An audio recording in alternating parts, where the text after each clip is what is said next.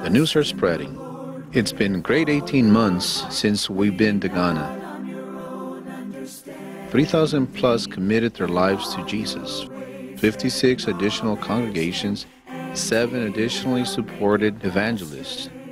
All congregations in Ghana have generally the following schedule Sunday worship, either mornings or evenings, Bible study, Monday and Wednesday. Thursday evening is youth night.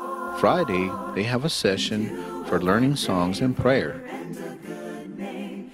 When Americans come to Ghana, it encourages all of them. All the evangelists minister all the congregations. This keeps them very busy. That's why they have Bible studies on Monday and Wednesdays.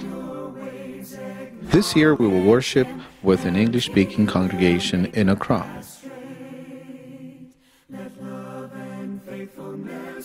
We would like to extend the invitation to all of you to come and join us, spread the good news in this campaign from January 22nd through February the 2nd, 2011.